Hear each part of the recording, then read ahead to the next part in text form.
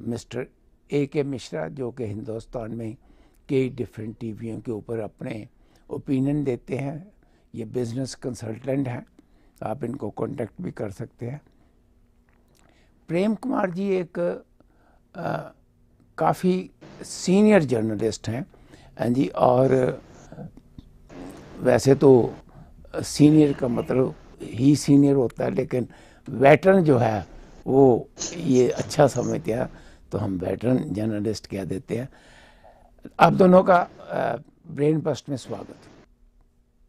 Thank you doctor आज की जो बात हम करेंगे वो ये है कि कर्नाटका के बाद इलेक्शन जीतने के बाद कांग्रेस लगता है कि उसको थोड़ी सी उसमें जान आई है।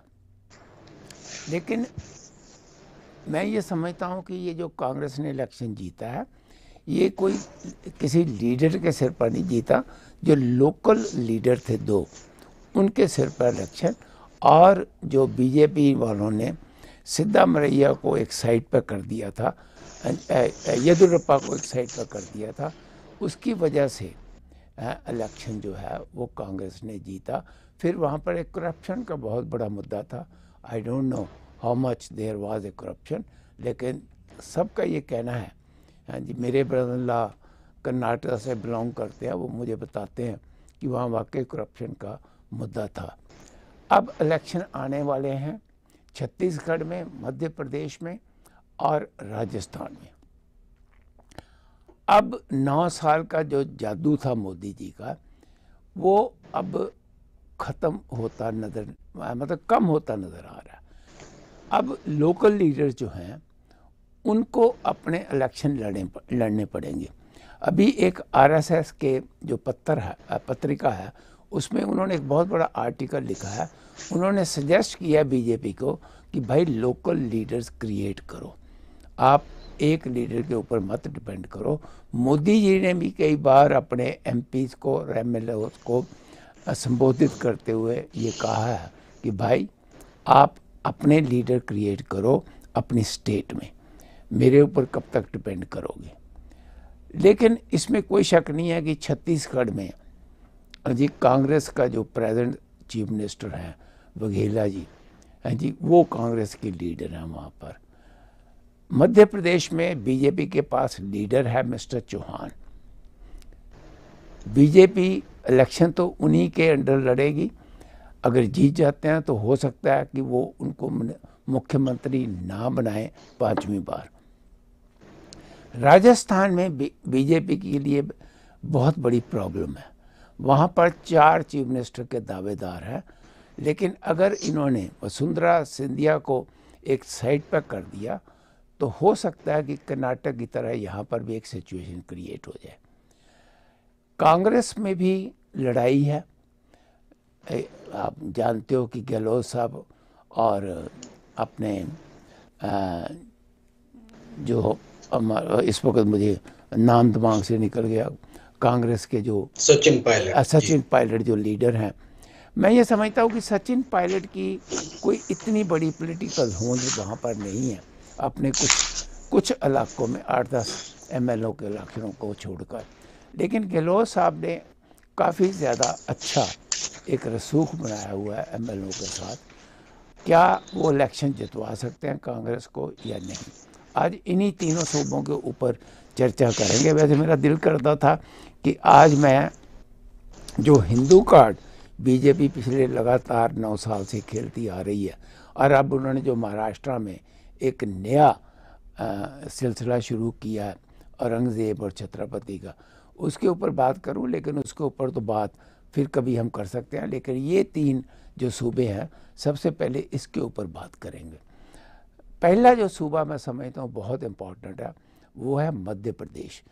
जो एक्सपर्ट्स हैं, उनका ये कहना है कि कांग्रेस मध्य प्रदेश जीत सकती है।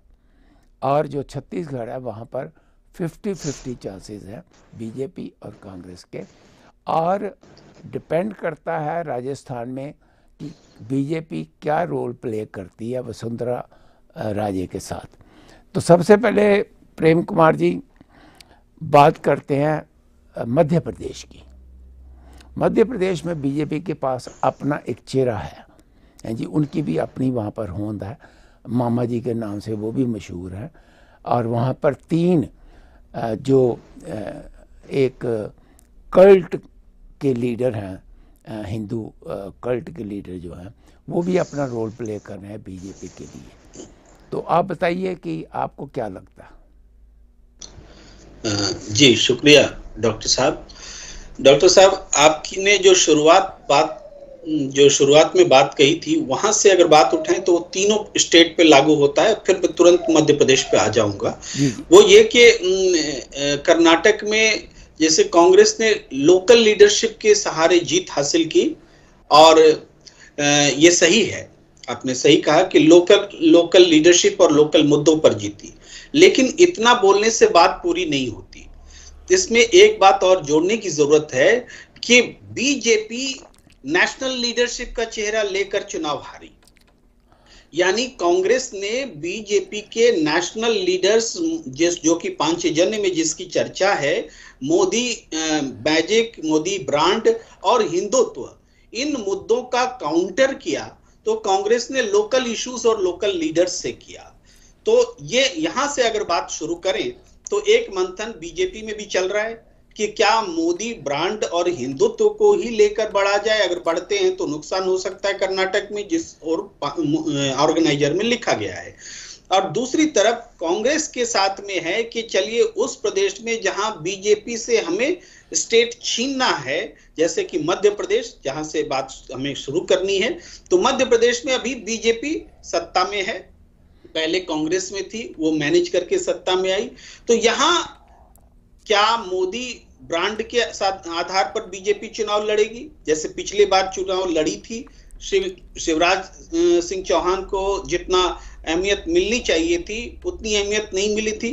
इस बार भी किस आधार पर कैसे लड़ती है?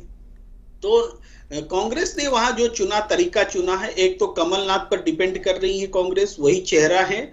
और कमलनाथ ने वो सारे तरीके, तौर तरीके आजमा लिए हैं जो भारतीय जनता पार्टी के अजमाया करती थी। यानी हिंदुत्व से खुद को जोड़े रखना, बाबाओं से घिरे रखना, खुद को भक्ति भाव में दिखना दिखाना, वही तौर तरीकों के साथ मौजूद है। लेकिन मूल बात है कि वो जो शिवराज सिंह चौहान, जैसे आपने कहा कि शिवराज सिंह चौहान को, के नाम पर ही चेहरा, चुनाव लड़ेगी। अगर शिवराज सिंह चौहान के नाम को सामने रख करके बीजेपी चुनाव लड़ेगी तो उसके अपने खतरे हैं। एंटी इनकम्बेंसी बहुत ज़्यादा हो जाता है उनके नाम पर। लेकिन दूसरे नाम पर अगर जाते हैं तो उसके अपने खतरे हैं, गुटबाजी का संकट आ जाता है।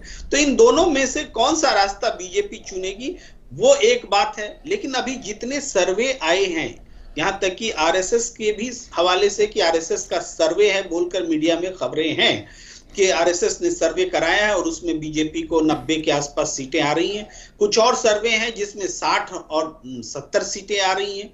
या, यानी बीजेपी हारती हुई दिख रही इस सर्वे में। तो मध्य प्रदेश जो है बीजेपी के लिए बहुत बड़ी चिंता का सबब है। कर्नाटक से सबक लेकर के यहाँ पर वो किस तरह से कांग्रेस का सामना करेगी ये एक बहुत महत्वपूर्ण बात है। इससे बल्कि 2024 के लिए बीजेपी का फॉर्मूला दिखेगा, हालाँकि मैं थोड़ी सी बात इससे इतर ये जोड़ना चाहूँगा, अपनी बात बस फिनिश ही करने वाला हूँ। तो ये कि आज जेपी नड्डा जी ने जो नारा दिया कि mega mall of hate trade फैला रहे हैं राहुल गांधी तो इस नारे को मैं मानता हूँ कि राहुल गांधी की पिच पर आकर के बीजेपी कर रही है। मुद्दा राहुल गांधी सेट कर रहे हैं और वो वहाँ पे जवाब दे रही। पहले ऐसा नहीं होता था। पहले होता था कि कांग्रेस के उठाए मुद्दे को नल करने के लिए, प्रभावहीन करने के लिए दूसरा मुद्दा बीजेपी उठा देती थी।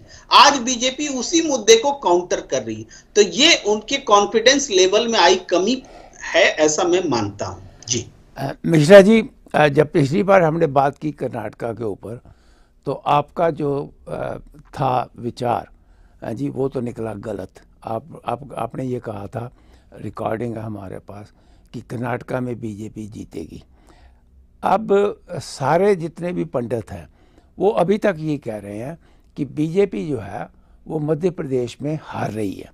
ये तीन जो बाबा हैं एक तो एक तो आ, लड़ आ, वो लड़की बाबा है और दो दूसरे बाबा हैं।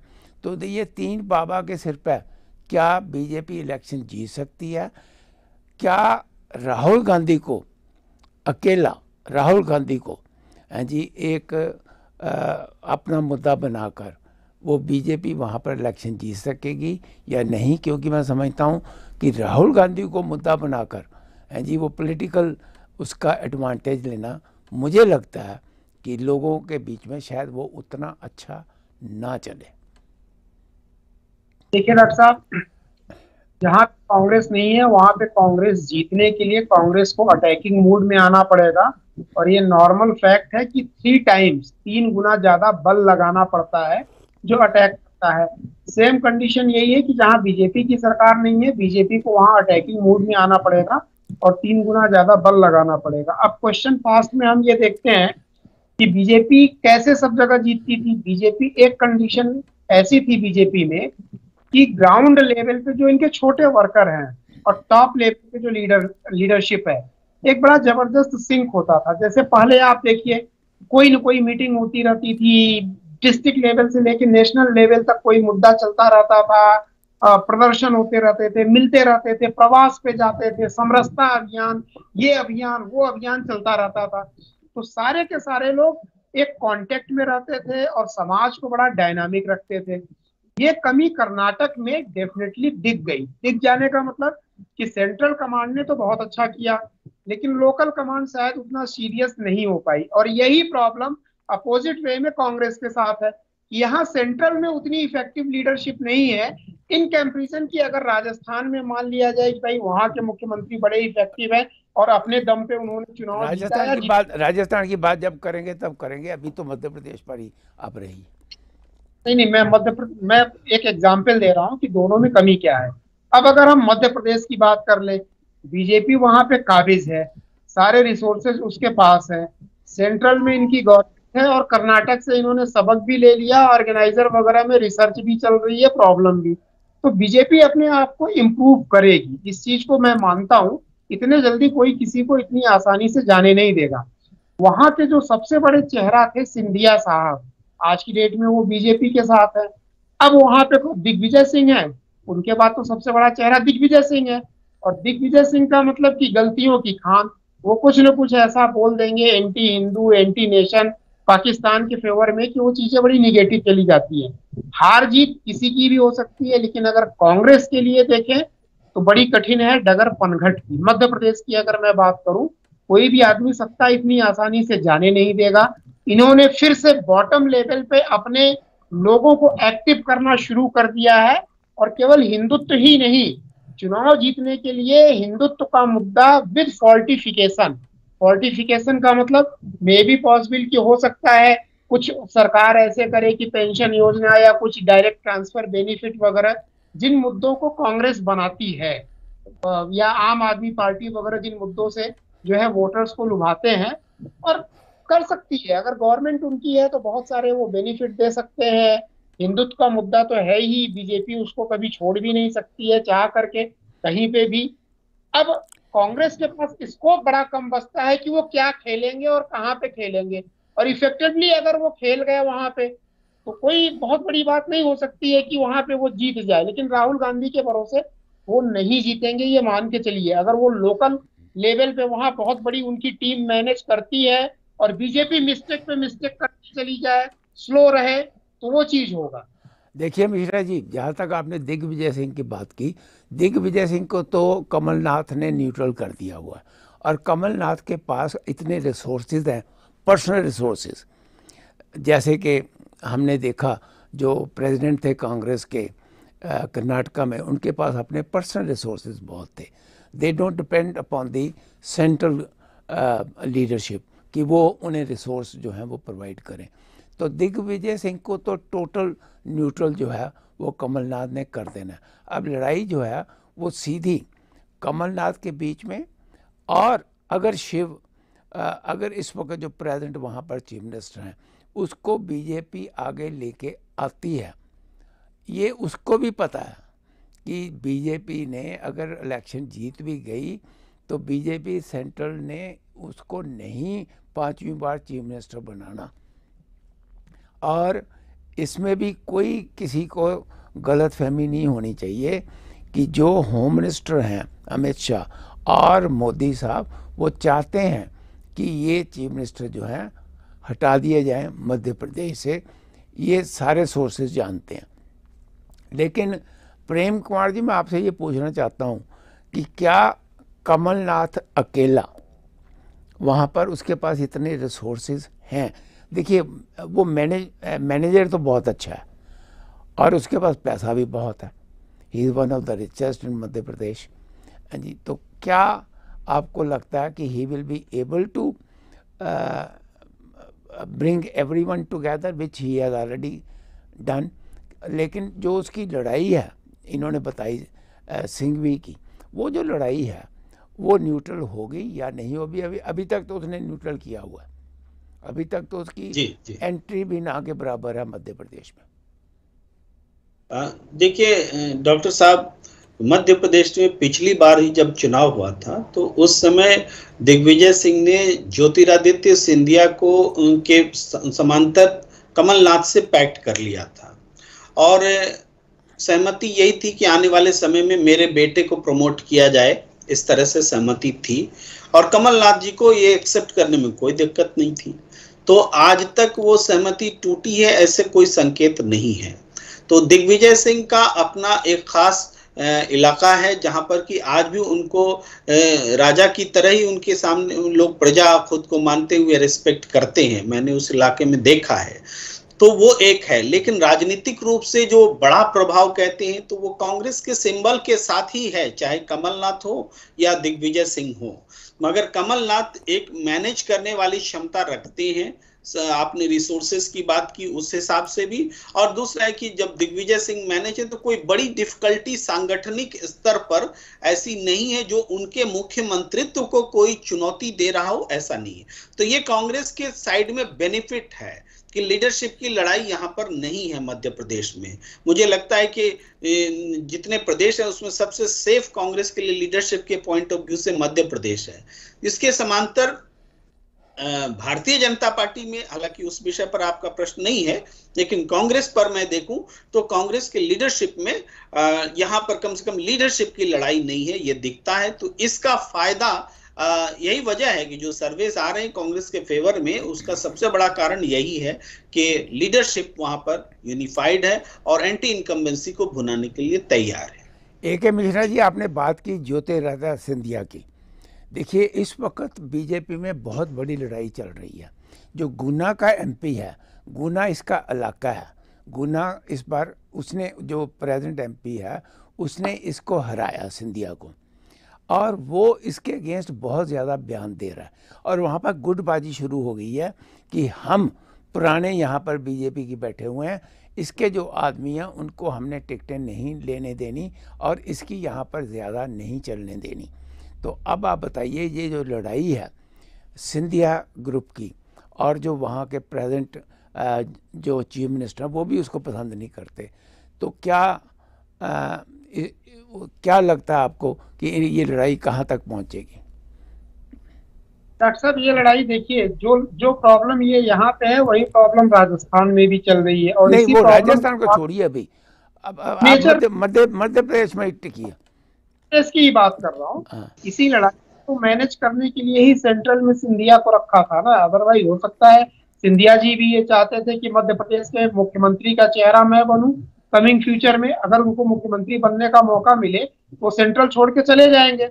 क्वेश्चन ये है कि ये गुटबाजी हर तरीके से सेंट्रल या स्टेट में लगभग सभी के साथ रहती है। किसके पास स्कोप है, कौन मैनेज कर सकता है, कौन सिंधिया को मैनेज कर लेंगे, कौन गुना के एमपी को मैनेज कर लेंगे। और जो अभी वर्तमान में मुख्यमंत्री हैं मामा जी, उनको भी मैनेज करने का तरीका बीजेपी के पास है कि भाई आप सेंटर में आ जाइए, स्टेट में आपने बहुत काम किया है। सेटिस्फाई रखते हुए ताकि कोई विद्रोह ना करे वहाँ पे। फुटबाजी है। हाँ अगर ये फुटबाजी ऐसी हो जाए वहाँ पे जा करके कि मान लीजिए कि आ, कोई मानने को ही ना तैयार हो ना स्टेट के जो लीडरशिप है या सेंटर के जो कमांड दिए जा रहे हैं तो मानने के लिए ही ना तैयार हो तो वहाँ पे भी बीजेपी नलीफाई करती है बहुत सारे लोगों को कि उनको टिकट ही नहीं देगी या स्टार प्रचारक नहीं बनाएगी। भीतर भीतर जो करना है वो कर ले। देखिए कर्नाटक की जो हार थी वहाँ पे बहुत बुरी तरीके से एकदम से डाउन लेवल के लोग भी इनएक्टिव हो गए। ये कंडीशन बीजेपी नहीं आने देगी। अगर मैं तीन चुनौतियों को मानूं जो आप बोल रहे हैं कि वर्तमान में जो मुख्यमंत्री हैं, उनकी गुटबाजी, गुना के एमपी की गुटबाजी और सिंधिया के तो मैं ये समझता हूँ कि तीनों लोगों को किसी न किसी तरीके से सेटिस्फाई करके एटलीस्ट इलेक्शन तक वो तीनों को एक रास्ते पे ले आकर के एक ऐसा फोर्स वो डेवलप करेंगे कि तीनों लोग मिल करके वहाँ पे काम करें प्लस सेंट्रल टीम बीजेपी की वहाँ पे काम करे कि ताकि इलेक्शन में वो गलतियाँ ना हो जो कि कर्नाटक में या कहीं और रही है। छोटी कांग्रेस छोटी छोटी एक आपसे बात पूछना चाहता हूँ। उसका छोटा जवाब आप दीजिए कि क्या इस वक्त जो चीफ मिनिस्टर हैं उनको इलेक्शन से पहले हटा के कहीं पोजीशन दी जा सकती है बीजेपी में या नहीं? देखिए, बहुत रेयर इस चीज़ के चांसेस हैं कि इलेक्शन के पहले हटाया जाए। बीजेपी के अंदर भी काफ़ी बुद्धिमान लोग बैठे हुए हैं। वहाँ पे क्या है, क्यों नहीं वो उनका बेनिफिट उठाना चाहेंगे? वो अगर उन्होंने इतना काम किया हुआ है तो वो इलेक्शन के ठीक पहले इसकी हटाना और सेंटर में लेना चांसेस कम है। होने को तो बहुत स्विफ्टली वो कर सकते हैं, उनके पास स्कोप है, लेकिन इसके चांसेस कम है, क्योंकि इसके निगेटिव इम्पैक्ट भी जाएगा। हो सकता है वो सेटिस्फाई ना हो वो सोचे कि हमें इलेक्शन के पहले तो उनके बेनिफिट को लेंगे। ये राजस्थान वाली गलती जैसे तो, वहाँ की वसुंधरा राजे सिंधिया वगैरह की जो हुई थी नहीं करेंगे। मैं समझता हूँ कि बीजेपी के पास जितनी भी लीडरशिप है लोकल की कर्नाटक के बाद ये उसका बेनिफिट लेंगे और बहुत स्विफ्टली ये चेंज करेंगे। अगर इनको नहीं इनको उनको मुख्यमंत्री नहीं बनाना है इलेक्शन जीतने के बाद सम्मान के साथ कहीं और शिफ्ट करेंगे गवर्नर बना सकते हैं ऑप्शंस बहुत हैं। हाँ, तो इस तरीके से उसको करेंगे कि नुकसान ना हो। अपने प्रेम जी ये जो लड़ाई है सिंधिया की और आप आप भी जानते हैं कि इसको जो प्रेजेंट चीफ मिनिस्टर हैं वो भी पसंद नहीं करते। गुना का एमपी तो एक सिंपल सी बात है। गुना का एमपी तो जो बोल रहा है इसके अगेंस्ट वो अलग बात है। लेकिन उस सारे इलाके में जो इन्फ्लुएंस है सिंधिया का कम से कम 20-25 सीटों के ऊपर विच इज़ ए बिग मतलब इन्फ्लुएंस क्या गुना का एमपी की वजह से या सिंधिया को इस वक्त जो उन्होंने काफ़ी न्यूट्रलाइज किया हुआ है आ, वो आपको क्या लगता है कि कहाँ तक पहुँचेगा?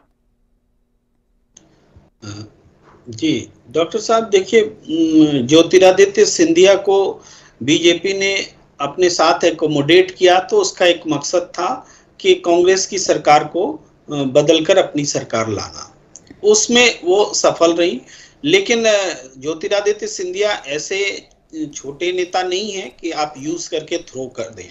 तो इसलिए उनको, उनका एकोमोडेशन आदर के साथ हुआ है और विधानसभा में अभी उस समय जो टूट हुई थी 22 तेईस सी, सीटों की विधायकों की समझिए बाद में वो संख्या 25 के आसपास हो गई थी तो वो उन विधायकों को रिपीट करना यानी दोबारा टिकट देना इसको लेकर भी संशय बना हुआ है। कम से कम आधे विधायकों के टिकट कटेंगे। तो उसको मैनेज करने का काम ज्योतिरादित्य सिंधिया को ही दिया जाएगा कि इनको आपको मैनेज करना है। और ज्योतिरादित्य सिंधिया को ये मैनेज करके दिखाना पड़ेगा।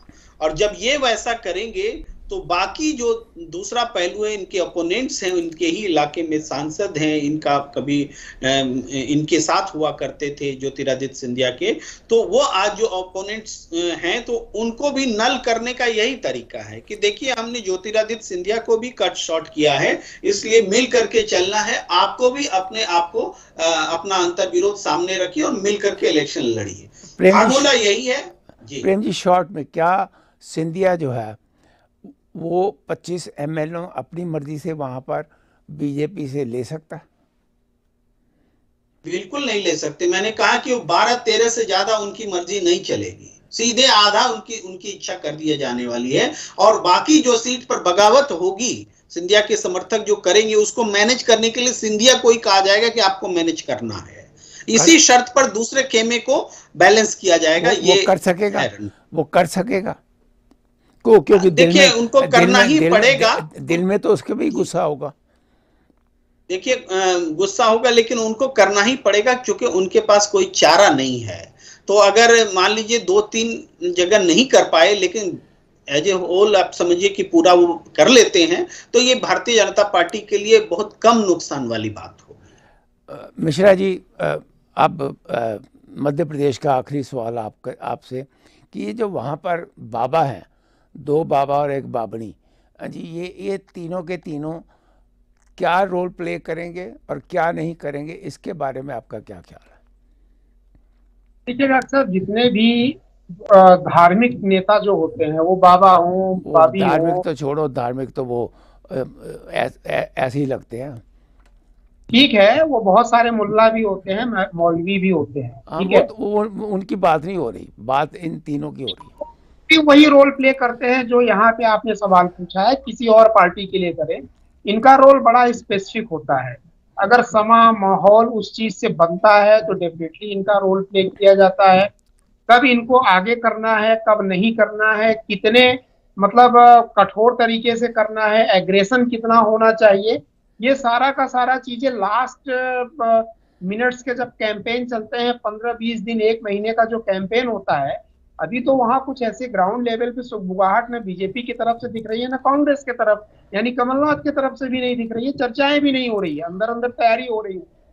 तो ये जो आपने बाबा की बात की है, ये एक ब्रह्मास्त्र की तरह होते हैं, बाबा हो या मुल्ला या मौलवी हो, एक बड़े स्पेसिफिक टाइम पे इनको जो है, और स्पेसिफिक टास्क के लिए जो है भेजा जाता है, जब देखा जाता है कि हाँ इनके आने से एक बहुत बड़ी चीज़ चेंज हो सकती है फेवर में या किसी के अगेंस्ट में जा सकती है। अदरवाइज़ ये देखा जाएगा कि इनका रोल एक कॉमन तरीके की तरह ये धीरे धीरे करते रहेंगे और जैसे ही इनको लगेगा कि माहौल एकदम फेवर में है तो वो उस, उनको यूज़ करेंगे, इस तरह के मुद्दों को करेंगे और ये कांग्रेस भी कर सकती है। कांग्रेस ने कर्नाटक में भी खूब किया वोका लिंगा वगैरह, ये सारी चीज़ें चली थी। जय बजरंग बली, उन्होंने नारे ज़्यादा लगा दिए बीजेपी वालों से। तो ये डिपेंड करता है कि उस वक्त की कंडीशन क्या है उनको यूज़ करना है कि किसको आगे फ्रंट पे किसको लाना है, स्टार प्रचारक किसको बनाना है, ये उस वक्त का माहौल बताएगा। और माहौल बनता है, सारे पार्टियों को मिल करके जो डायनामिक्स क्रिएट किया जाता है, बीजेपी, कांग्रेस, निर्दलीय, ये सब मिल करके जो डायनामिक्स क्रिएट होगा, उसके कारण सिचुएशन को मैनेज करने के लिए चीज़ों को आगे या पीछे किया जाए। प्रेम जी, छत्तीसगढ़ में ये जो, ये फिफ्टी फिफ्टी की बात हो रही है वहाँ पर बीजेपी के पास कोई लोकल इतना बड़ा लीडर तो है नहीं। हाँ जी आ, लेकिन कांग्रेस के पास है चीफ मिनिस्टर। तो ये फिफ्टी फिफ्टी और उन्होंने काफ़ी लोगों को जो है लोगों के हक में कई फैसले भी किए हैं। तो ये ये फिफ्टी फिफ्टी कहाँ से आ गया? जी डॉक्टर साहब छत्तीसगढ़ एक ऐसा प्रदेश है जहाँ आज की तारीख में कांग्रेस सबसे ज़्यादा निश्चिंत है कि यहाँ तो हम आ ही रहे हैं। और इसकी वजह दो स्पष्ट है। एक तो भारतीय जनता पार्टी लगातार पाँच साल में एबसेंट रही है। जो सरकार के खिलाफ आंदोलन होने चाहिए, जो गतिविधियाँ होनी चाहिए, राजनीतिक कार्यक्रम होने चाहिए, उसका अभाव रहा है। हाँ एक दो कुछ धार्मिक आयोजन ज़रूर हुए हैं तो वो भी कांग्रेस ने आयोजित कराए, जिसमें कालीचरण ने वो बयान दिया था गांधी के खिलाफ। में बीजेपी यहाँ, वहाँ एक्टिव नहीं रही है। एक तो ये है।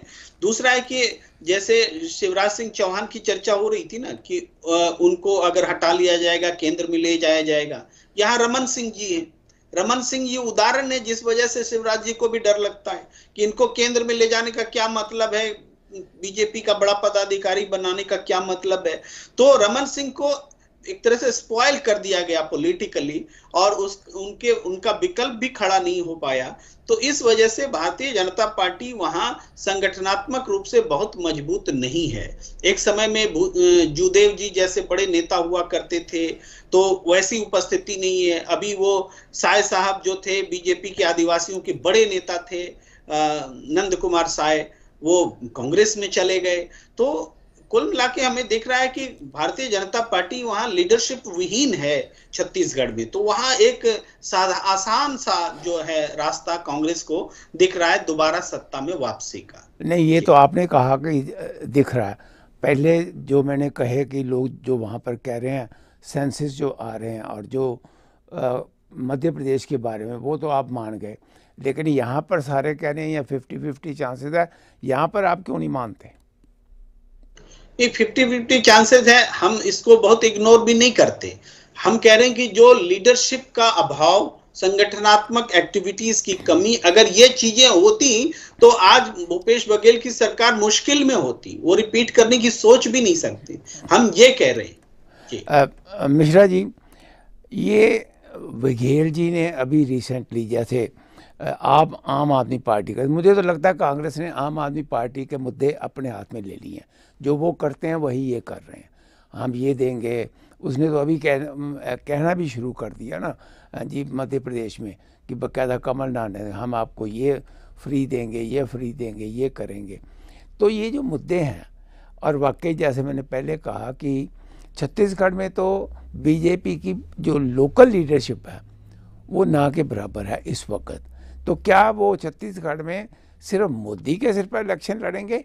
आपको क्या लगता? है देखिए डॉक्टर साहब दो चीज़ें हैं। अगर सेंट्रल टीम या पूरी बीजेपी किसी स्टेट को सीरियसली लेगी तो वहाँ वो लीडरशिप डेवलप करेगी सेंट्रल की भी टीम जाएगी और लोकल भी। ठीक है टाइम का है?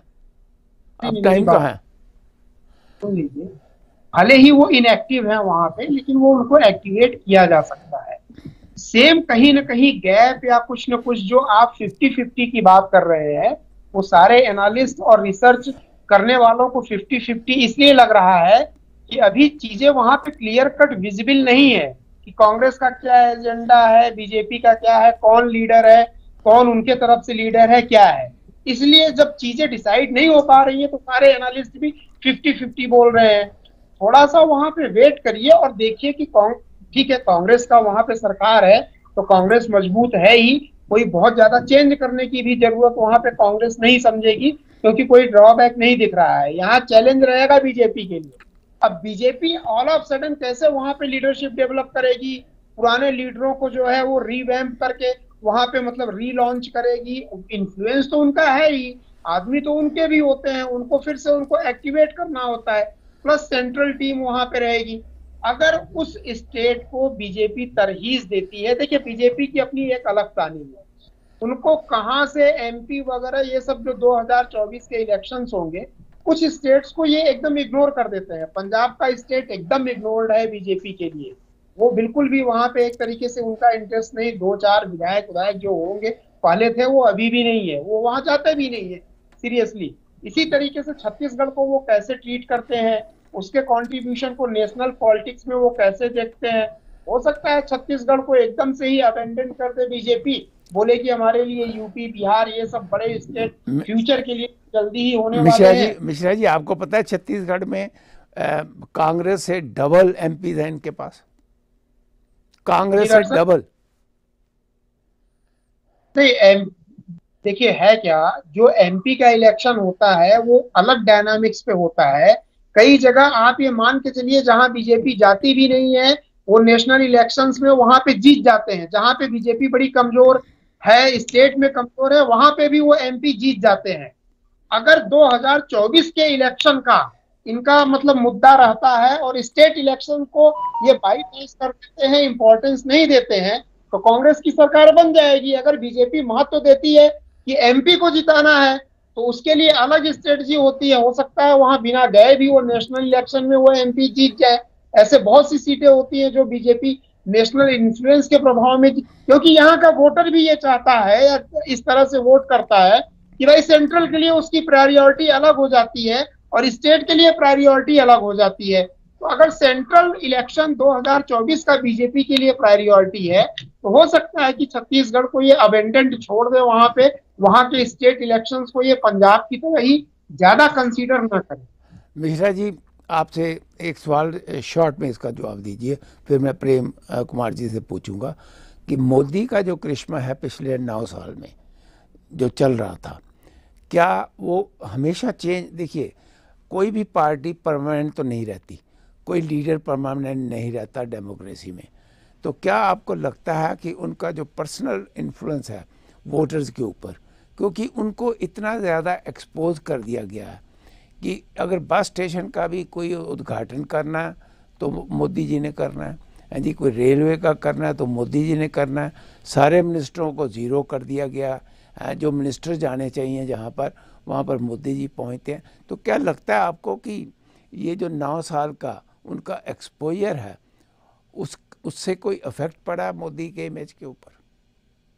नहीं एक्सपोजर से कोई निगेटिव इफ़ेक्ट तो नहीं पड़ा है। अगर हम ये माने कि जैसे लोग ये बोल रहे हैं कि भाई मोदी जी का जादू खत्म हो रहा है स्पेशली कर्नाटक इलेक्शन वगैरह के बाद, वो मोदी जी का जो कैरिज्मेटिक नेचर है, उसमें, उसके प्रभाव में या उनके व्यक्तिगत कैरेक्टर वगैरह में कमी नहीं हुई है, वो मिसमैनेजमेंट के कारण हुआ।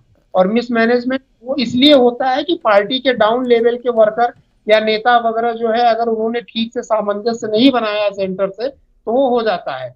इंडिविजुअली मोदी जी के अंदर जो कैरिज्मा था, वो है और वो रहेगा। और मैं एक चीज़ और बोलता हूँ।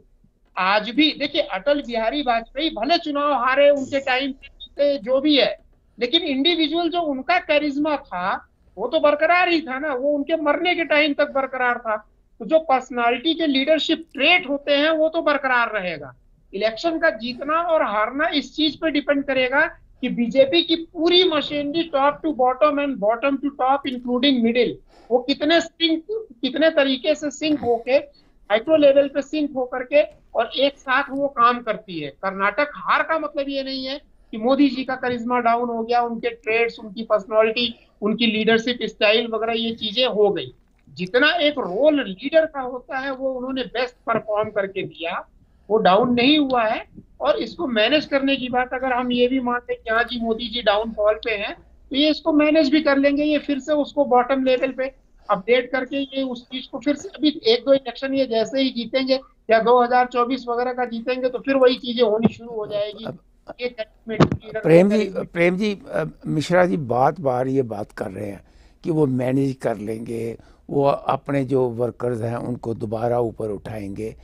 बीजेपी इस वक्त being run only by two people and जी, मैं समझता हूँ टू भी नहीं है, एक ही, अमित शाह। एंड जी, मोदी जी तो अमित शाह को जो कहना होता है, कह देते हैं।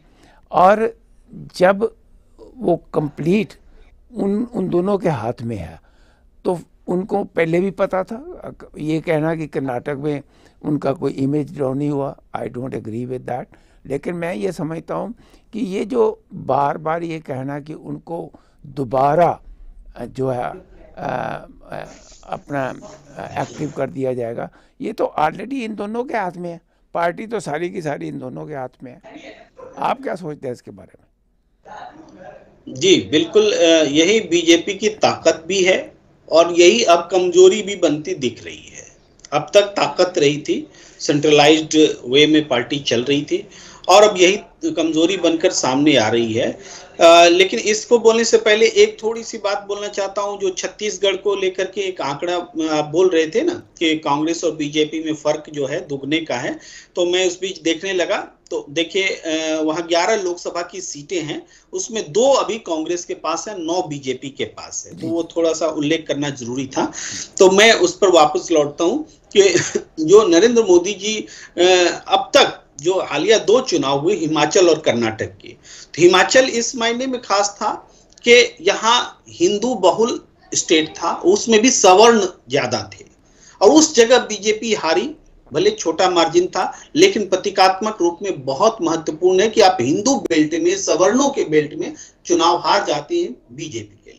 और कर्नाटक इसलिए महत्वपूर्ण था क्योंकि यहाँ सीधे सेंट्रल लीडरशिप ने अपना चेहरा सामने रखा।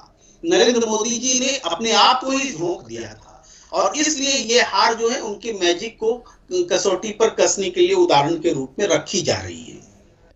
लेकिन इसकी भरपाई करने का वक्त है। ऐसा नहीं है कि नरेंद्र मोदी जी के मैजिक फिगर का जो अभी तक चला है, उसको भरपाई का वक्त नहीं है। लेकिन क्या ये जो चुनाव आने वाले हैं, इसमें भरपाई हो पाएगी? ये टेस्टिंग पॉइंट है। अगर कांग्रेस की एक भी प्रदेश, कांग्रेस का जो एक प्रदेश छत्तीसगढ़ है या राजस्थान है, इसमें से एक भी बीजेपी जीत लेती है तो बीजेपी दावा कर सकेगी कि मोदी मोदी मैजिक फिगर जो है, वो ज़िंदा है, मोदी फिगर ज़िंदा है।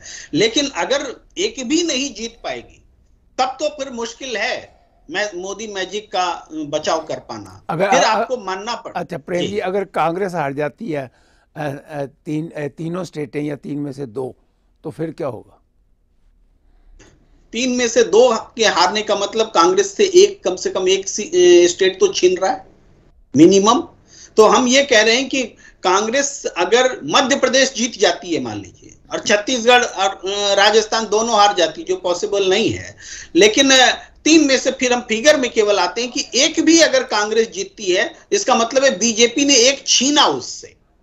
तो बीजेपी से अगर छीनती है बीजेपी ने अगर कांग्रेस से छीनी तो वो मोदी मैजिक को बरकरार रखने का एक एग्ज़ाम्पल होगा बन सकता है। ये मैं कह रही पॉसिबिलिटी है ज़िंदा रखने की। लेकिन अगर तीनों हार गई तो फिर मोदी मैजिक नहीं बच पाए नहीं नहीं वो तो क्लियर वो तो दो भी हार जाए तब भी मैजिक जो है काफ़ी कम हो जाएगा। मिश्रा जी, आपसे शुरू करता हूँ राजस्थान। जैसे येदुरप्पा को इन्होंने न्यूट्रल कर दिया था कर्नाटका में।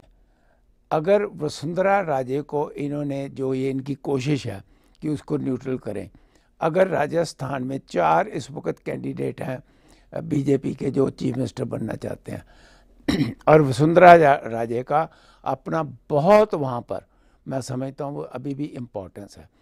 अगर इन्होंने बीजेपी वालों ने उसको मतलब न्यूट्रलाइज न्यूट्रल कर दिया तो आपको क्या लगता है कि उसका क्या इफ़ेक्ट होगा? देखिए डॉक्टर साहब बात मुख्यमंत्री बनने के केवल दो लोग नहीं कई लोग हो सकते हैं बीजेपी और कांग्रेस तो चार कहे हैं। हाँ सॉरी आपने चार कहे थे। तो कांग्रेस में जैसे अभी दो लोग खुल्लम खुल्ला है जो है और भी अंदर होंगे जिन्होंने अपने विचार या अपने मन की बातों को प्रकट नहीं किया होगा। सवाल यहाँ पे फिर वही आता है क्योंकि वसुंधरा राजे जी वहाँ पे आ, काफ़ी दिनों तक मुख्यमंत्री रही है।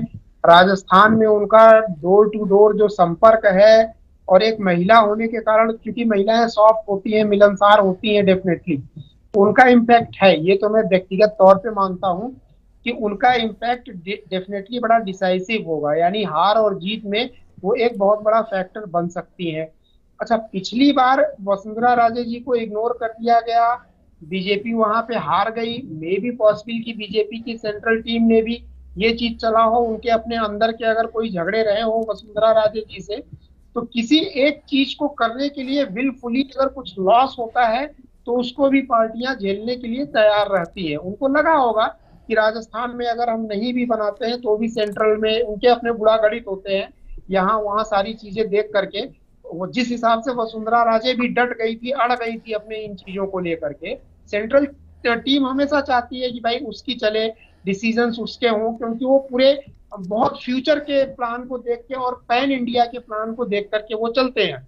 यहाँ पे एक बड़ी खास बात मैं कहूँगा जो कि मैं पहले बोल रहा था कि हिमाचल वगैरह या दूसरे छत्तीसगढ़ वगैरह की, अभी बीजेपी की लॉबी में क्या बात चल रही है, अखबारों में भी आई थी कि भाई यूपी में ये प्लान बना रहे हैं बीजेपी वाले कि पूरे के पूरे मतलब लगभग 80 से बयासी सीट हम जीतेंगे।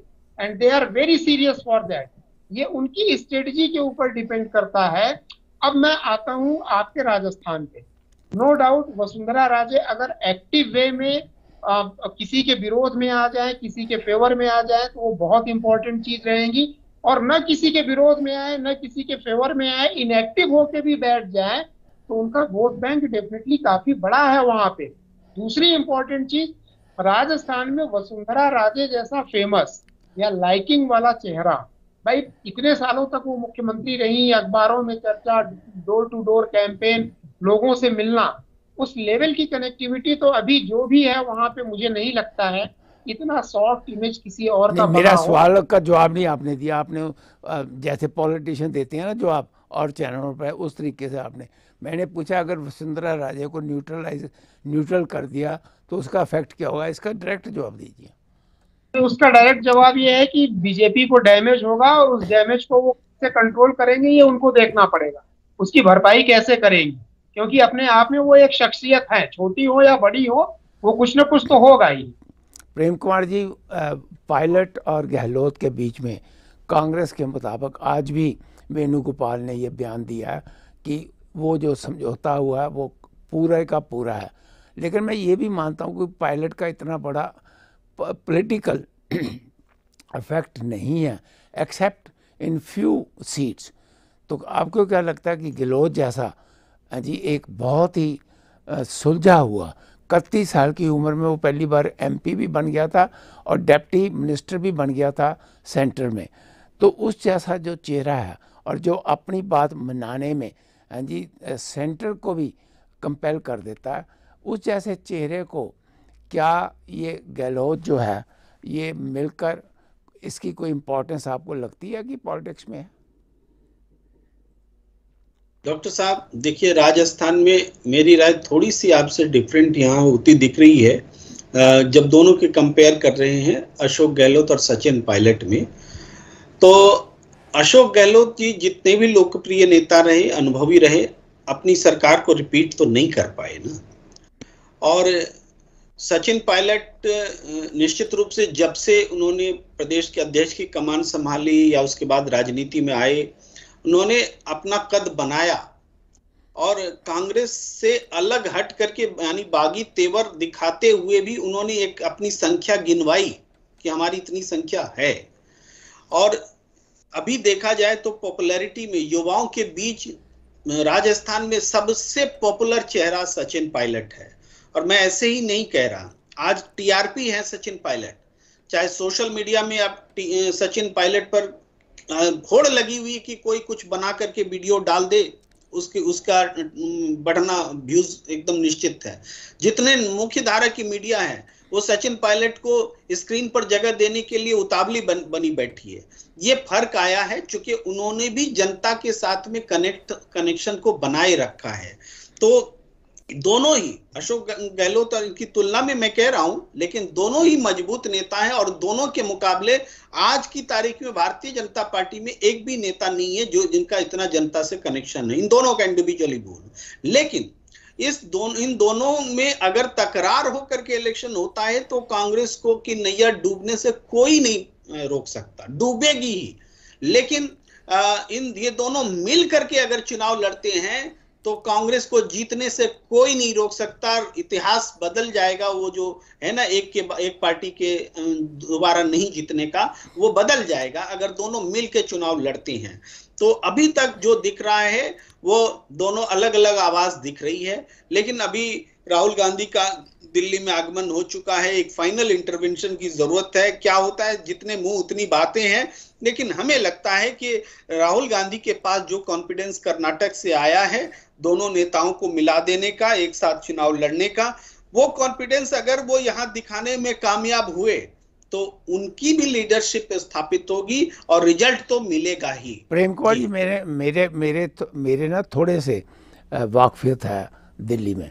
तो वो सोर्सेज ये कहते हैं कि पायलट को ये प्रॉमिस किया गया है कि भाई तू इलेक्शन मिल के लड़। डेफिनेटली अगर कांग्रेस जीतती है तो हम गहलोत जी को नहीं बनाएँगे चीफ मिनिस्टर। आपको इसमें कितनी सच्चाई नज़र आती है? इसमें मुझे पूरी सच्चाई नज़र आती है और इसलिए भी कि गहलोत जी के भी जो ताज़ा बयान है, वो अपने आप को एकोमोडेट करते हुए दिख रहे हैं। लेकिन वो अपने सम्मान पद से हटना चाहते हैं, ऐसा नहीं कि कोई आए और हटा दे। बात यही है कि मैनेज कैसे होगा? कैसे प्रतिष्ठा के साथ अशोक गहलोत की वहाँ से विदाई होगी? ऐसा नहीं होगा कि सचिन पायलट ने शर्त लगाई और गहलोत को हटा दिया। ये फीलिंग या ये मैसेज वो जानने देने से वो फिर बगावती हो जाएँगे। ये स्पष्ट है कि अशोक गहलोत को सम्मान के साथ रखते हुए वो नॉमिनेट करेंगे सचिन पायलट को, तब वो सचिन पायलट बनेंगे, ये स्थिति बनेगी, तभी होगा समझौता। ये अंदर खाने मोटे तौर पर बात हो चुकी है। लंदन लंदन टॉप के प्रोग्राम के ऊपर मिश्रा जी, एक घंटा बीस मिनट की इंटरव्यू थी गहलोत साहब की रिसेंटली वो सारी मैंने इंटरव्यू देखी। उसमें वो बहुत लगता है कि पायलट की तरफ़ से बड़े नरम हुए हुए थे। जो बड़े सख्ती से बोलते थे, वो कहते थे, ये ढाई साल का बच्चा था जब मैं पहली बार इसके इसके बाप के घर गया। उसका अपने पायलट का फादर जो था, Rajesh he was a very close to me at one time. तो मैं ये पूछना चाहता हूँ आपको कि क्या ये गहलोत साहब जो नरम हुए हैं पायलट के मामले में, इसके पीछे हाई कमांड का कितना बड़ा हाथ है? इसके पीछे खड़गे साहब के साथ जो मीटिंग हुई जिसमें राहुल गांधी भी था तीन घंटे, उसका कितना बड़ा आपको हाथ लगता है और क्या आपको ये लगता है कि आने वाले इलेक्शन तक ये इकट्ठे रह सकेंगे? देखिए, ये जो डीमोरलाइज हुए हैं, ये अपनी गलतियों के कारण हुए हैं। जब कांग्रेस के ऑल इंडिया प्रेसिडेंट वगैरह का इलेक्शन था तो इनको हाई कमान ने इनके नाम को नॉमिनेट किया था। ये आए नहीं, ये एग्री नहीं हुए। एग्री नहीं हुए मतलब एक तरीके से इन्होंने ठेंगे पे रख दिया था सेंट्रल कमांड को। अच्छा उसके बाद ठीक है खड़गे साहब को बनाया गया, जैसे भी बनाया गया। उसके बाद परिणाम कर्नाटक वगैरह के बढ़िया से आ गए। तो सेंट्रल कमांड को लगने लगा, चलो एक डस्टबिन की तरह वो पड़े हुए हैं। अभी सेंट्रल कमांड कांग्रेस की जो है, वो बिल्कुल भी इनकी तरफ़ तरहीज नहीं दे रही है। और ये भी हो सकता है कि सेंट्रल कमांड को ये लग रहा है कि हमारे पास एक सेकेंड ऑप्शन युवा नेता है ही, पायलट है ही। और क्योंकि पुश्तैनी वो कांग्रेस के उसमें रहे हैं। तो अब ये ऑटोमेटिकली प्रेशर में है कि अगर हम सेंट्रल कमांड की चीज़ को अब नहीं मानेंगे तो ऑप्शन उनके पास है ही। तो इसमें सेंट्रल कमांड का दबाव वबाव नहीं है, ये अपनी गलतियों के कारण बैकफुट पे आए हुए हैं और सॉफ्ट हुए सॉफ्ट हुए पड़े हुए हैं, जो है कि इसकी तरफ़ सॉफ्ट इसलिए वो हुए पड़े हैं कि उनको खतरा अगर कहीं से दिख रहा है तो वो जो कल का लड़का है जिसको वो ढाई साल का बोल रहे थे, वो उन्हीं से खतरा दिख रहा है। अगर उनका कोई ऑप्शन है राजस्थान में, कोई बनेगा फ्यूचर में कोई चुनौती देगा तो वही देगा और ज़्यादा नखरे अगर करेंगे तो ये भी चांसेस है कि सेंट्रल कमांड अब पावर में आ रही है रिज़ल्ट पॉजिटिव आ रहे हैं। तो कहीं ऐसा ना हो कि खड़के जी या कोई और आदमी या सेंट्रल कमांड के और लोग उसको सपोर्ट कर दे। अगर सेंट्रल कमांड ने सपोर्ट कर दिया पायलट को तो फिर वो क्या कर पाएँगे? कुछ नहीं कर पाएँगे। तो ये एक नेचुरल प्रेशर उनके ऊपर है, जिसके कारण वो सॉफ्ट हुए पड़े हैं, कि ताकि उनके ऊपर कोई खतरा ना आया है बहुत ज़्यादा प्रेशर नहीं नहीं फिर आप ना फिर वही पोलिटिकल जो लीडर्स हैं ना, उसी तरीके से मैंने आपसे सीधा सवाल ये किया था, क्या ये जो इन, इनकी आपस में संधि हुई है पीस पीस एग्रीमेंट क्या ये कामयाब रहेगा या नहीं? नहीं रहेगा कामयाब, डॉक्टर साहब। उसके पीछे कारण है कि राजनीति में कभी भी एक म्यान में दो तलवार नहीं रह सकती है। एक ही आदमी रहेगा अगर दोनों की महत्वाकांक्षाएँ बराबर हैं। जैसे कि दोनों की महत्वाकांक्षाएँ हैं। और मैं देखना चाहूँगा मैं आपकी बात का सीधा सीधा जवाब देता हूँ कि एक म्यान राजस्थान एक म्यान है दो तलवारें कब तक रहती है वहाँ पे? चलिए तलवार छोड़ दीजिए। गहलोत साहब तलवार है और ये कटारी है छोटी वाली तलवार जो होती है। मैं देखूँगा ये कब तक रहेंगे। दो साल चार साल? नहीं अगर नहीं, दोनों लोग वहाँ नहीं नहीं तो मैं तो अरे मैंने तो सिर्फ़ चार चार पाँच महीने की बात की है इलेक्शन तक। आप तो आगे चले गए।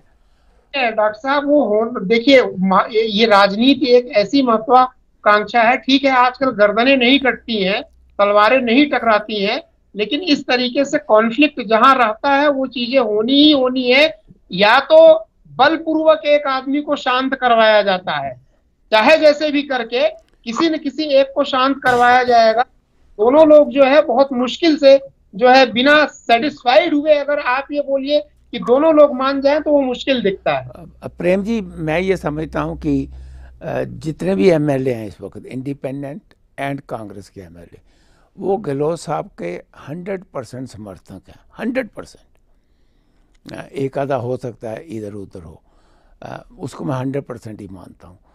और मैं ये भी मानता हूँ कि अगर वाकई पायलट को ये कह दिया गया है कि इलेक्शन के बाद अगर जीत जाओगे तो हम आपको चीफ मिनिस्टर बना देंगे। तो मुझे लगता है ये जो आपस में इनका एक एग्रीमेंट हुआ है, शायद वो इलेक्शन तक रह जाए। आपको क्या लगता है? जी, इसी में एक महत्वपूर्ण बात मिसिंग है, उसको इंक्लूड करने से ये आंसर स्पष्ट हो जाएगा।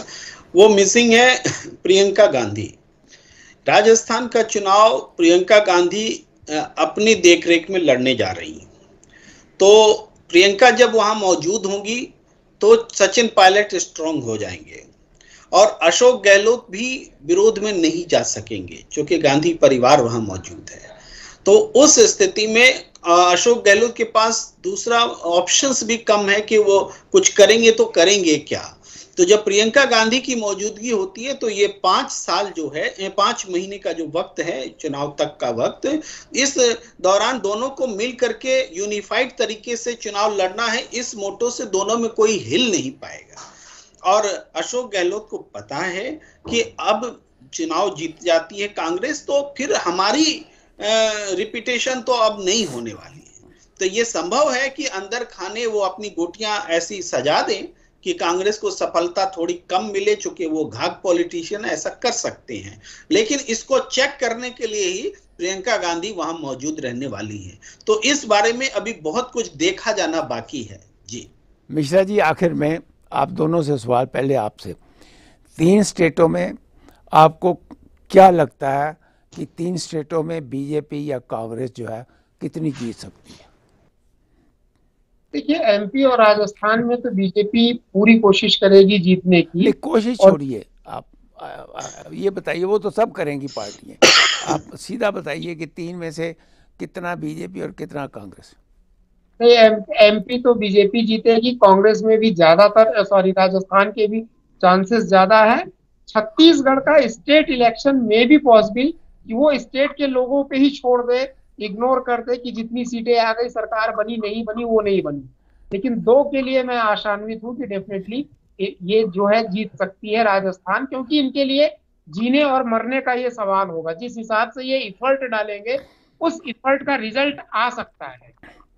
आ, आ, वैसे तो आपको पता ही है आपका कर्नाटका का जो आपने कहा था उसके बारे में। लेकिन प्रेम जी मैं आपसे ये पूछना चाहता हूँ कि गहलोत साहब की गवर्नमेंट बन गई। उसके बाद 25 की 25 सीटें जो है वो मोदी साहब जीत गए एमपी की।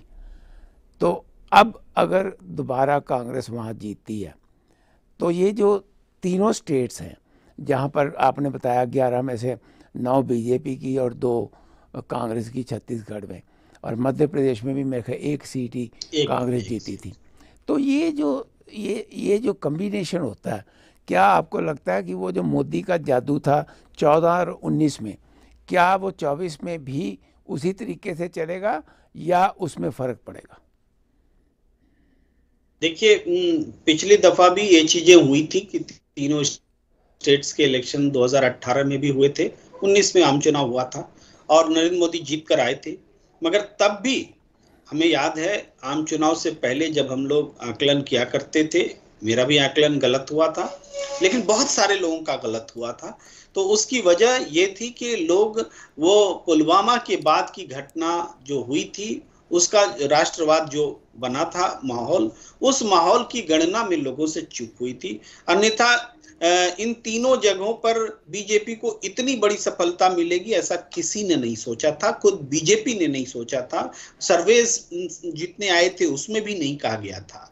तो हमें लगता है कि इस बार भी जब तक कि वैसी कोई बड़ी घटना नहीं होती है इन तीनों स्टेट में बीजेपी उस चुनाव नतीजे को रिपीट नहीं कर सकती। ये मुझे पक्का लगता है। और इन तीनों स्टेट्स में अगर कांग्रेस ने अगर फतेह कर लिया दोबारा पिछली बार की तरह तब तो बिल्कुल नहीं ऐसा होगा। पुलवामा लगता है आपको कि बीजेपी पुलवामा की तरह एक और इशू जो है वैसे वैसा इशू क्रिएट कर सकती है।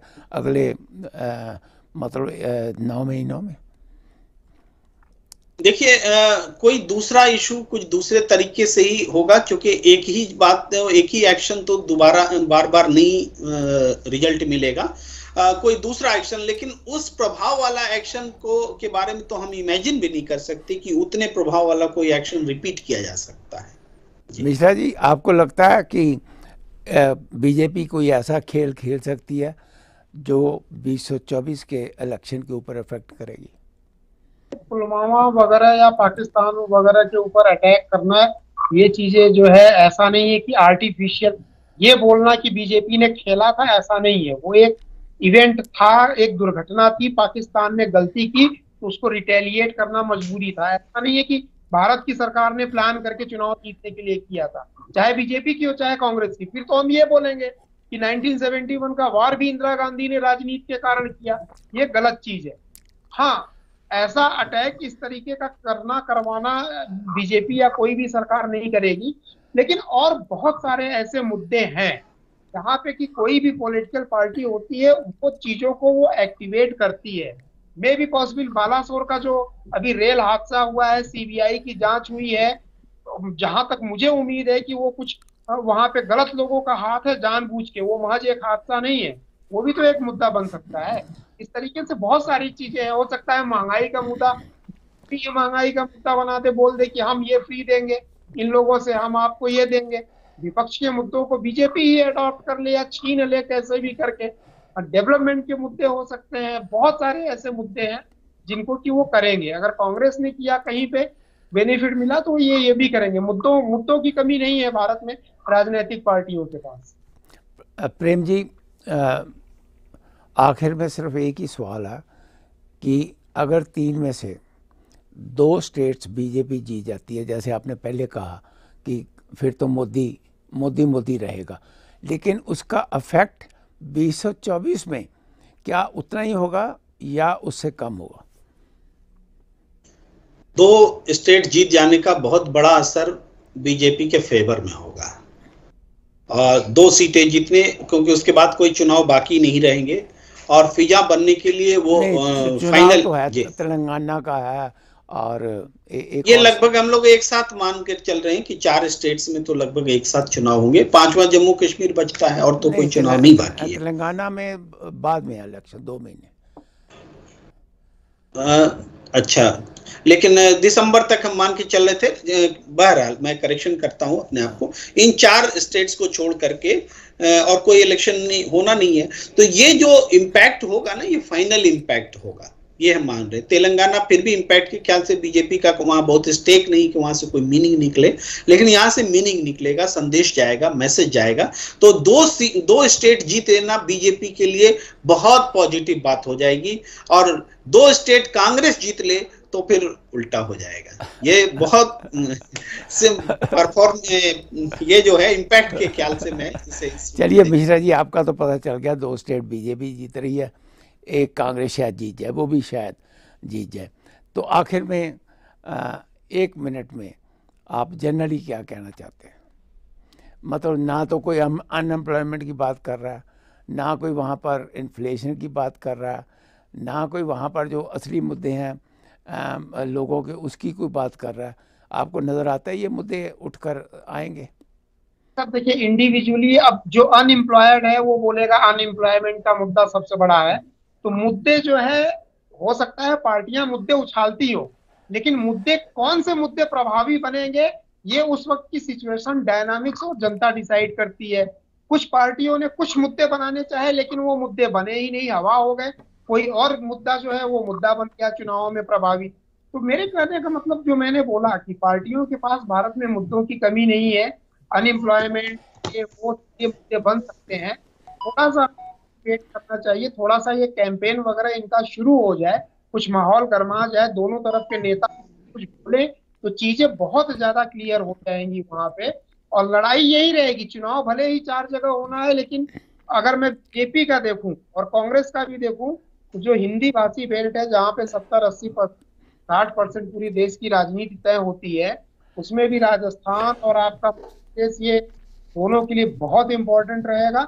छत्तीसगढ़ जहाँ तक मुझे लगता है, वो बीजेपी उसको स्टेट लेवल के लीडरशिप पे छोड़ देगी सेंट्रल टीम उसको इग्नोर कर देगी, एक तरीके से। फोकस वो इसी पे करेंगे और अपना नॉर्थ इंडिया इधर यूपी वगैरह में ये बहुत फोकस करेंगे कि एक स्टेट पे काम करके वो बहुत मेजर सीटें जीत सकते हैं, जिससे कि उनकी सरकार बने वहाँ पे। कांग्रेस तो सोच ही नहीं रही है 2024 के बारे में, लेकिन बीजेपी हर चीज़ को प्लान करेगी 2024 को लेकर। प्रेम जी आखिर में जनरली आपकी क्या ओपिनियन है? और तेईस तारीख को अपोजिशन वाले मिल रहे हैं। मुझे तो नहीं लगता उसमें से कोई ऐसा आ, मतलब ठोस एग्रीमेंट बन सके इन, इनके लिए। जस्ट वन मिनट जी जी। देखिए ये जो बैठक पटना में होने वाली है ये पटना में नॉन एनडीए अपोजिशन है जो इकट्ठा होगी। और उसमें जो अब तक कांग्रेस से दूरी बनाने वाली पार्टियाँ थी, आम आदमी पार्टी, तृणमूल, वो सब भी इकट्ठा हो रही हैं। इसीलिए इस बैठक का इम्पोर्टेंस है। तो इसमें ये दल जो है, इनमें एक भाव पैदा हुआ है, चाहे ममता बनर्जी हो या अरविंद केजरीवाल की इवन टीआरएस जो इसमें शामिल नहीं हुए, उनकी भी, उनके भी मन में भाव है कि ये संघीय ढांचे में हमारा अस्तित्व खतरे में है। ये बीजेपी के रहते हुए हम हम, उसके खिलाफ हमें एकजुट होना ज़रूरी है। तो ये एकजुटता की जो ज़रूरत हुई है, इस वजह से ये इकट्ठे हो रहे हैं। यूपीए का एग्जिस्टेंस बना रहेगा, यूपीए के साथ उस गठबंधन का कोऑर्डिनेशन होगा। ऐसा नहीं कि यूपीए मर्ज कर जाएगा और कोई बड़ी विपक्षी, एकता हो जाएगी, ऐसा नहीं होगा। लेकिन एक सहमति बनेगी कि जो जहाँ मज़बूत है, वहाँ लीडरशिप करे, लड़ाई भी होती है तो भी वो फ्रेंडली हो और उसके बाद लेकिन जहाँ कहीं भी बीजेपी को हराया जा सकता है तो वहाँ पर इकट्ठा हुआ जाए। अगर इस तरह की मेंटालिटी अगर उस मीटिंग से निकल करके आती है तो वो मेंटालिटी ही आ, उसकी उपलब्धि होगी और उसका इम्पैक्ट दो 2024 में पड़ेगा क्योंकि महाराष्ट्र पश्चिम बंगाल बिहार झारखंड ऐसे कुछ प्रदेश हैं जहाँ से बीजेपी की सीटें अगर कम हो गई और निश्चित रूप से कम होगी इनके इकट्ठा होने से तो बीजेपी मैजिक फिगर से दूर हो जाएगी। प्रेम जी, आपका बहुत बहुत धन्यवाद। आप इतने बिज़ी शेड्यूल में से जब भी मैं रिक्वेस्ट करता हूँ, आप आ जाते हो। हालाँकि आजकल मेरी थोड़ी सी तबीयत ठीक नहीं है, आपको मेरी आवाज़ से वैसे भी पता लगता होगा। तो आपका मैं बहुत बहुत धन्यवाद करना चाहता हूँ कि आप अपने इतने बिज़ी शेड्यूल से जो है, वो आते हैं। मैं thank you very much for coming और मिश्रा जी आप तो छोटे भाई हैं आपको तो मैं कान पकड़ के भी ला सकता हूँ लेकिन फिर भी आपका बहुत बहुत धन्यवाद जी कि जब भी आ, हम कहते हैं आप आ जाते हो आपका दोनों का बहुत बहुत शुक्रिया। Wish you all the best have a wonderful weekend आप आप प्रोग्राम देख रहे थे brain bust with doctor Sharda. और हमारी कोशिश यही होती है कि डिफरेंट डिफरेंट व्यूज़ जो हैं, वो आपके सामने पेश किए जाएँ। मैं अपने व्यूज़ को वैसे बड़े होने के नाते भी या वैसे भी मैं आपको एक सजेशन देना चाहता हूँ। मुझे पता है कि 90 परसेंट हमारे व्यूअर्स जो हैं, वो बीजेपी और मोदी साहब को चाहने वाले हैं। लेकिन आप ज़रूर जब कोई डिफरेंट व्यूज़ देते हैं तो उसको सुनने की आप में हिम्मत होनी चाहिए। डेमोक्रेसी में कभी कोई एक लीडर परमानेंट नहीं होता। डेमोक्रेसी में कभी कोई पार्टी परमानेंट नहीं होती। वो हमेशा चेंजेस जो हैं, चाहे एक पार्टी दस साल राज करे, बीस साल राज करे, ultimately there will be a change. So please, आप भी दूसरे विचारों को सुनना शुरू करिए। और टैग टीवी को, जहाँ आपने तो सब्सक्राइब किया हुआ है लेकिन आप अपने दोस्तों मित्रों को भी कहिए कि वहाँ वो जो सब्सक्राइब करें उसके साथ साथ अपने सोशल मीडिया के ऊपर इन प्रोग्रामों को डालें और रिक्वेस्ट करें कि हाँ भी वो भी सब्सक्राइब करें ताकि इसकी जो सब्सक्रिप्शन है वो बढ़े। और ये प्रोग्राम इसी तरह हम आपके सामने पेश करते रहें। Thank you very much have a wonderful weekend wish you all the best Subscribe Tag TV YouTube channel and press the notification button.